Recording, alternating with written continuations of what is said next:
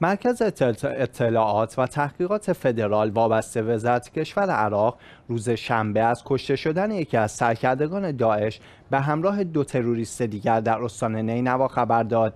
در بیانیه سازمان اطلاعات و تحقیقات فدرال وابسته به وزارت کشور عراق آمده که مرکز اطلاعات و تحقیقات فدرال توانست با نظارت مستقیم وزیر کشور و همکاری فرماندهی عملیات مشترک و فرماندهی عملیات نینوا یکی از مخفیگاه های تروریستی را در کوههای منطقه بادوش استان نینوا شناسایی کند.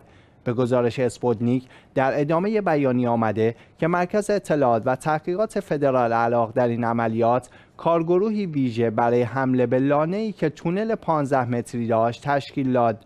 در این حمله درگیری با اعضای داعش که در داخل لانه حضور داشتن رخ داد.